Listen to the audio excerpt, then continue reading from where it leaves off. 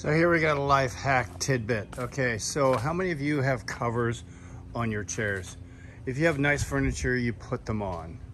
And how much of a pain the butt is to get it right.